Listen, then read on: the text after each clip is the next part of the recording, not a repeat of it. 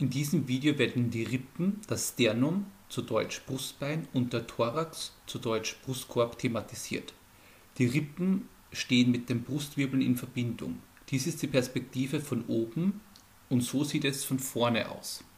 Weiter sind die Rippen mit dem Sternum verbunden.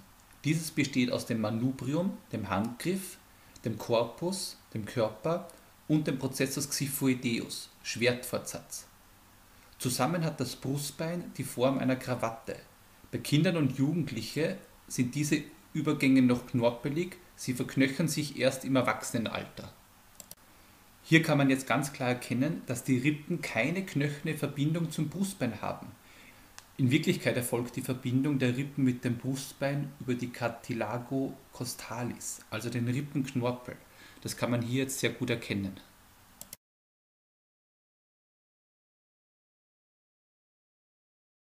Die ersten sieben Rippenpaare erreichen das Sternum mittels der Rippenknorpeln direkt und werden daher echte Rippen Coste Vere bezeichnet, die anderen fünf als falsche Rippenpaare Coste Spurie.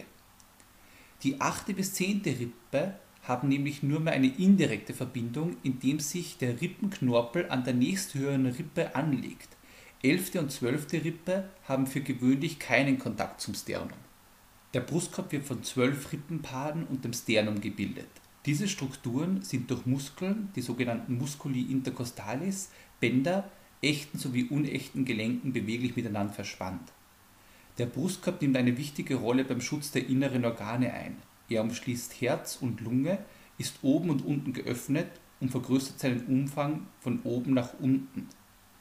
Der Thorax bildet für die Lunge eine stabile Hülle, die eine normale Atmung ermöglicht.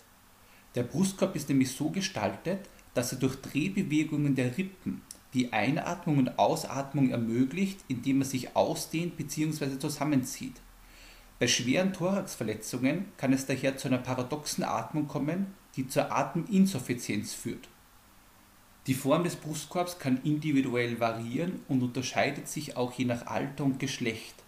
Bei Säuglingen stehen die Rippen noch horizontal und senken sich im Alter immer weiter ab. Frauen haben einen kürzeren und schmäleren Thorax als Männer. Zum Abschluss seht ihr jetzt noch das weibliche Skelett. Das erkennt ihr am breiteren Becken und am schmalen Thorax. Und nun das männliche Skelett. Becken ist deutlich schmäler, dafür ist der Thorax breiter.